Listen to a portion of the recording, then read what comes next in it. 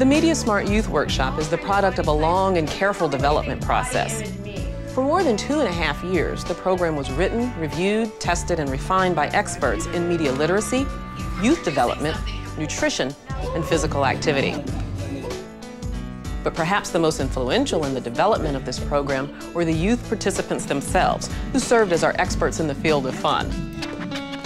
An early draft of the curriculum was pilot tested by youth serving organizations in seven sites around the country. After careful revisions, the workshop was then retested. We learned a great deal during these pilot tests, and the facilitators at these test sites might well be described as the voices of experience. Here's what they have to say about Media Smart Youth. Okay, you guys, how about the Snickers bar? How many servings do you think are in the Snickers bar? One. Good, three servings. Many times as youth workers, you get overwhelmed with all the different curriculums that are out there. And a lot of times you think about what should I use and what shouldn't I use. Well, speaking from my own experience, this is definitely a program that I would continue using. The great part about this program is that you don't need a background in health, in fitness, in nutrition, or in media to teach it because everything is there for you. We're going to focus on advertising. If you have the desire to work with these kids, that's what you really need. The program stands for itself.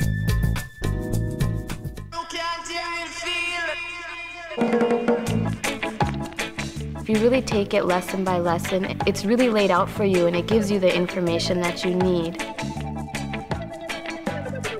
The most important thing is to have fun with the curriculum. Let the kids take the lead with most of the activities. Let them run with it. What really makes this fun is that it's really all about the kids. It is probably one of the fastest 90 minutes of my life, and they think it goes by fast and they're having fun too. The curriculum is very adaptable. It can be done in an after-school venue once a week for two months. It can be in a camp setting it seems to be working for us any way we feel like adapting the curriculum to meet our needs and what the kids' schedules are like.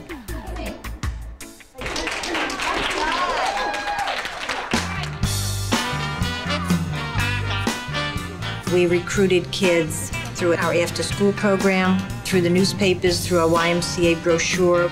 Letting children know that they're going to have the opportunity to be creative is a key in recruiting children for the program. There's no question that children really want an outlet for their creativity. Keep in mind, the program is set up for 10 to 15 kids, and you really want to keep that as a core group. There's so much that the kids are learning, and they need to have some time to ask questions. There are sensitive issues. We don't ever say diets, but we're saying, here's the information. We want you to look at the information, and then hopefully you can make some of these changes. But we're not pointing to anyone and saying, you need to make these changes. Media Smart Youth is very sensitive to diversity. It easily embraces the different ethnicities found in your group, and there's a lot of helpful guidance around those issues.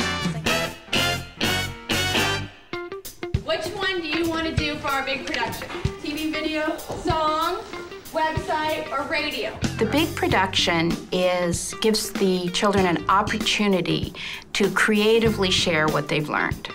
And it can take many forms. What you're going to end up with is kids taking all this wonderful knowledge and all these terrific skills that they've gathered over the 10 lessons, and they're going to put it into something that reflects what they've learned, and it's going to be something that's going to appeal to kids of their own age, and that's what you want. We're not working towards a highly polished production. We're working towards something that reflects what Media Smart Youth has meant to these kids and what they've learned from it. This message is about not to starve yourself or stuff yourself, but to eat healthy. They can make a video, they can make a magazine ad, they can make a newspaper ad, they can make posters. They can go and pretty much make a message and send it anywhere. Keep it simple.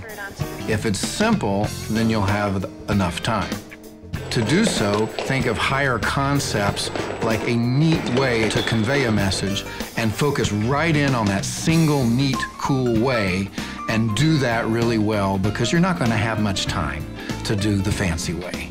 Stop! What are you doing? I'm taking the stairs. The way the curriculum is set up, we're learning about media. It would be great if you had a media partner. A partner that wanted to be involved in the community.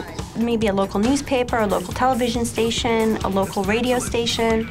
Maybe your high school has its own television or radio station, your school's newspaper. Really try to keep it on a local level. Never say, oh, don't do the program, we didn't have a media partner. The curriculum really fills in beautifully when you don't have a media partner.